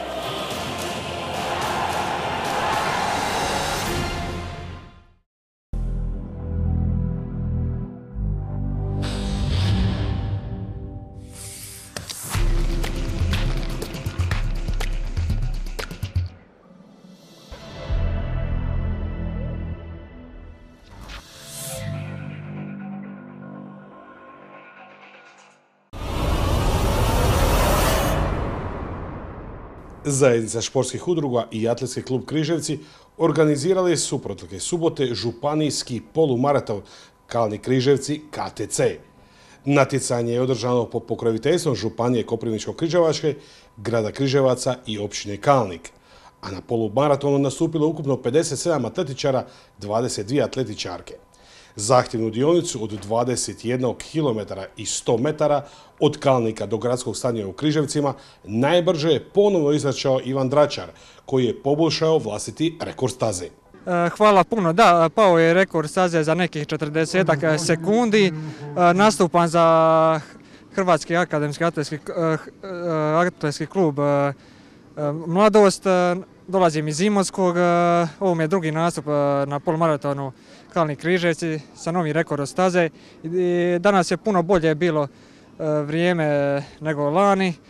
Napravio sam promjenu na petom kilometru i održava sam sve do kraja. Konfiguracija staze je vrlo dobra, ima samo dva veća uspana, ovo je sve ostalo blagi pad i, i to sam na kraju taktički odradio trku. Konkurencija ove godine je puno kvalitetnija bila konkurencija i čestitam svima koji su završili ovaj polumaraton. Kod atletičarki je najbrža bila Ana Štefulj, inače ovogodišnja prvakinja Balkana u maratonu. mislim da je, mislim da je netko uh, taman prije utrke rekao da je iznad 1.30 rekord, ne znam točno, nisam provjeravala, tako da vjerojatno je rekord staze oboren. Kako si zadovoljna? Pa zadovoljna sam, došla sam ovdje napraviti dobar trening, zapravo sam čak išla i brže nego što sam planirala, nekako sam trčala na osjećaj da mi bude umjereno teško, tako da sam više nego zadovoljna s rezultatom. Pa dojam je da je vruće, naravno to sam očekivala, zato je start u četiri popodne i dosta visoka temperatura danas. Staza je dosta valovita, ima i dosta uspona i dosta nizbrdica, tako da je vrlo zanimljiva i dinamična. Znači ne možete se upustiti u neki ritam jer se neprekidno događaju izmjene ritma usred drugačije konfiguracije staze. Ja se vidimo dogodne? Pa nadam se da da. Najbolji križevčani u polumaratonu bili su Daniel Kataleni, inače član atletskog kluba Koprivnica na sedmom mjestu kod atletičara i Marija Valičević na 20. mjestu kod atletičarki. Dodjela priznanja upriličena je na gradskom stadionu, a najboljima su zaslužene nagrade, kolajne i diplome, uručili načelnik općine Kalnik Kronoslav Đurec, gradski pročelnik i sudionik utrge Križevačka osmina Sandro Novosel, predsjednik zajednice športskih udruga grada Križevaca Branislav Pengov, predsjednica uprave tvrtke KTC Daliborka Krančić i predsjednik organizacijskog odbora utrke Branko Zorko, a svečanost je uveličala i Križevačka djevojačka straža. Izuzetno mi je drago da ove godine po 12. put održavamo tradicionalni polumaraton Kalnih Križevci, kojemu je start ovdje kod nas na Kalniku, čime evo, naša općina promovira sport, ali možda nama malo i bitnije e, turizam, zdrav život za ove naše stanovnike Kalnika, ali i za čitavu Koprivničko-križevačku županiju. Evo sa zadovoljstvom možemo e, danas biti sudionici ovog 12. po redu županijskog polumaratona Kalnik Križevci. Rekao sam jednog od e, najznačajnijih sportskih događanja tijekom godine u našoj Koprivničko-križevačkoj županiji. Unazad dvije godine on se upravo i odvija u smjeru od Kalnika prema Križevcima za razliku od prethodnih deset godina, što je u svakom e, slučaju jedna dobra odluka. E, svake godine taj maraton privlači evo, jedan velik broj natjecatelja i ja se nadam da će i ove godine po završetku utrke evo svi oni e, biti time zadovoljni. Važno je napomenuti da u biti zadnje dvije godine ovom u pravom smislu polumaraton, jer znamo prije kad je trka bila okrenuta od Križevaca prema Kalniku, to je bilo neki 17 km gdje se završavalo vrlo jak uspon. Sad je ipak malo drugačije, znači malo lakše, ali s tim da je stvarno pravi polumaraton od 21 km i on ulazi ovoga u kalendar Hrvatskog atletskog saveza i znači ko želi si ovdje oboriti rekord može to napraviti baš evo upravo na ovom polumaratonu. Ja kao direktor trke sam vrlo zadovoljan zbog toga. Također u centru Križevaca startala je i utrka Križevačka osmina. Početak utrke građana na Štrosmerovu trgu označio je zamjenik gradonačelnika Križevaca Danil Šaško, a prije starta nastupio je gradski puhački orkestar i križevačke mažoretkinje. Pa evo, ja mislim da svi mogu biti zadovoljni, puno je natjecatelja e, na ovoj osminki, a čekamo i ove sa polumaratona, ali evo, na, na novo izgrađenoj atletskoj stazi, tako da mislim da su svi zadovoljni. Pa evo, ovo je danas već drugo sportsko događanje, već smo danas odradili jednu biciklijadu, e, sad e, utrka, tako da mislim da Križevci dišu sportski. Kod atletičara najbrži je bio Emanuel Evačić iz atletskog kluba Sportske igre mladih. E, utrka je bila dobra, konkurencija je bila jaka. Stvarno su me stisnuli, morao sam se dobro namučiti da dođem do pobjede. Ali evo, sretan sam kad sam i to uspio na kraju. dečki su me lijepo stisnuli, pa je bio i dobar rezultat. Zadovoljan sam utrkom sve u svemu. Kakve planove? Pa sad je zimski period, pripreme, pa onda dvoranski dio sezone. Kod atletičarki osminu je najbrže istrčala Simona Jambrošić, atletski klub Varaždin. Pa da, evo ga, ja sam ove godine prvi put sudjelujemo u utrci i stvarno ono, utrka je odlična, organizacija je odlična. Malo je, znači, pošto sam prvi put, bilo mi je neočekivano da ću još morati jedan krug trčati na stazi, ali ipak to je nešto novo za mene. znači, moja disciplina je 5000 metara na stazi, plan mi je ispod 18 minuta istrčati. Evo, ove godine sam bila prvakinja 5000 metara na stazi kod juniorki i kod mlađih seniorki. A kad već govorimo o natjecateljima, moramo reći da su uz one mlade sudjelovali i oni najstariji. Ovoga puta to su bili Ana Baksa i nezaobilazni Zvonko Stipić. Nije mi bilo lako jer je vluče, a malo prije sam dobio još inekciju radi pčele koja me piknula, tako da sam se stvarno mučio. Moram priznat, nije bilo lako. Inače, u utrci građana bila su i brojna poznata imena. Dakle, za mene je bio ono najveći maraton na svijetu, moram priznati. Ovaj, ja sam zbog vas, vašega grada i ovog maratona po prvi put u životu trčala. Tenisice su ovdje, trenirala sam i stalno sam u treningu, ali trčanje mi je malo slabija točkica, zato sam išla isprobati svoju formu. Dakle, imam žulj što mogu pokazati i ovdje. Ovaj, ovaj, imam žulj, ali nema veze doživjela sam to da sam došla nekako do cilja i bilo je fantastično. Naime, sjajna ekipa koja je bila ovdje u, trčačkoj ekipi, sjajna publika, sjajna atmosfera i to je nešto što me zaista onak povelo da izdržim svoj eto prvi polumaraton ili kak se zove. Miss Supernational Dalmacije vrijeme u Križevcima iskoristila je za podizanje forbe uoči natjecanje za naslov najljepše u Hrvatskoj. Pa kako ide nam finalni izbor za Miss Supernational, trebamo održavati kondiciju, tako da samo vježbamo i maraton je zapravo dobra stvar e, za pripremu. Pa jako sam zadovoljna, nisam se puno umorila, istrčala sam sve, uspjela sam i zadovoljna sam jako. Ono po čemu je općenito križevačko trkačko poslije podne poznato, osim sjajne atmosfere, dobih trkača, je sudjelovanje onih najmlađih. Ja sam Tara, i bilo je jako lijepo.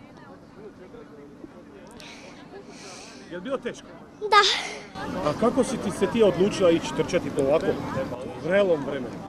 E, I tata i sestra i mama su mi išli pa sam i ja išla. A je se baviš atletikom? Da. A, jesi uspješna? Da. U svakom slučaju još jedno lijepo izdanje iza nas. Križevački polumaraton apsolutno diše punim plućima ili pak osmina svake godine podiže ljestvicu. Sport nedeljom kao medijski partner svjedok je cijelog tog vremena. Vidimo se dogodne, gospodo. Zagreb i Sinja, vlakom preko Brinja. Ne možeš ga slomit, jak je kao spina. Oko vrata Lančić, a na njemu Alka. Lako ti je poznat sinskoga junaka. Asistent Vlado, što ga zovu Ture? Sportaši, ekipa, boga mi i cure. Uvijek je pri ruci, ponekad na muci. Kad ga Ante stisne kao da su vuci. Stvorili su zajedno emisiju snova Jer nema emisije kao što je ova. Savršeni gosti, preljepe hostese. Sport nedeljom stiže na svjetske adrese. Luka i Lovren, i Janica i Toni I veliki i mali, pravi šampioni. Svi su oni anti, dragi gosti bili Najbolji sportaši, svima nama mili. A nešto važno, rado bi vam rekao Sport nedeljom je stvorio Ante Breko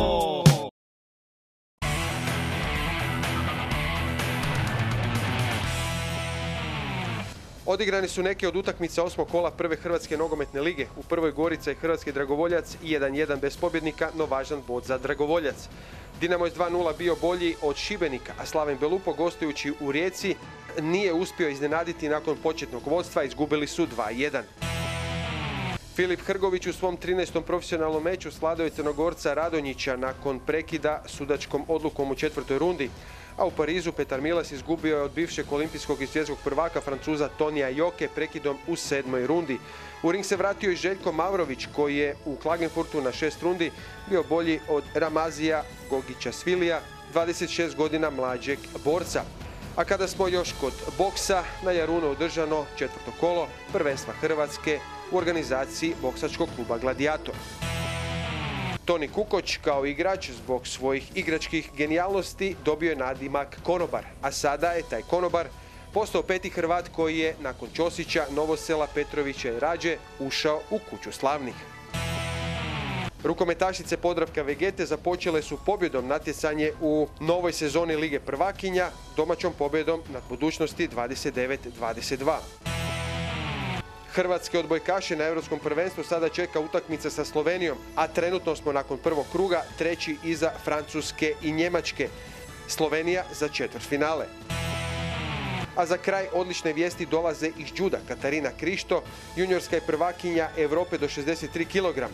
Lara Cvetko, srebrna do 70 kg, a Ana Viktorija Puljis bila je brončana u kategoriji do 52 kg.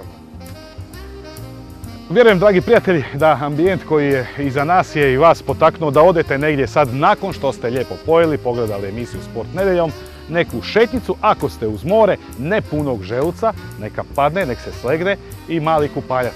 Ekipa Sporta nedeljom upravo će to sada napraviti i nakon vjerujemo još jednog zanimljivog izdanja emisije Sport nedeljom, turbo priče odmah na početku, odmah u startu da vas zagrijemo i da vam usmjerimo e, pažnju gdje ćete e, svake nedelje, 13 sati i 30 minuta, e, gledati najgledaniju hrvatsku sportsku priču. Vidimo se za tjedan dana u isto vrijeme, a do tada sve iz emisije na jednom mjestu, na našem portalu, našim društvenim mrežama. Vidimo se, dragi prijatelji.